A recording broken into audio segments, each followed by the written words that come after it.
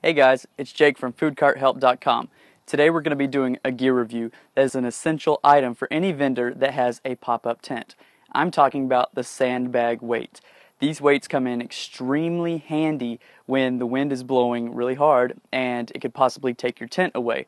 I learned real quick when I first started selling that I needed these weights.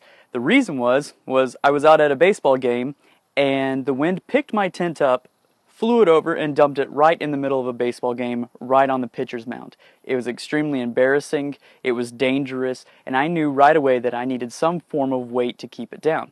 Well, spikes for the tent worked okay, but I needed something that I could also set up on concrete. And I needed something that looked nice, that wasn't just a concrete block or something like that. So I found these sandbag weights. I filled it with sand, or pea gravel. You could fill it with anything of that type of substance that's going to be heavy. Fill it up, velcros to the tent legs, and you're good to go. It looks nice. It's going to keep your tent steady, and they're easy to set up. So check it out. Here's mine. I put a link below so you could click on your click on the link and go get your own. Thanks.